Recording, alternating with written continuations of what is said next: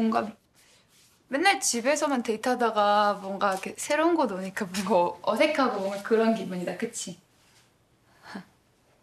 어 그런가?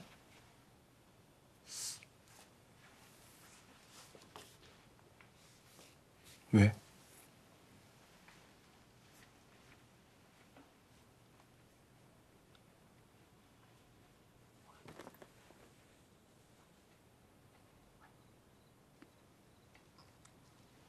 우리 첫 뽀뽀 기억난다. 너가 먼저 해놓고 놀라서 도망갔잖아.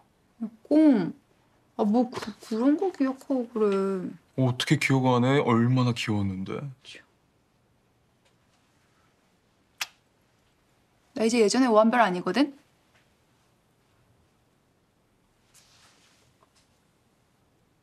나도 예전에 공대성 아니거든.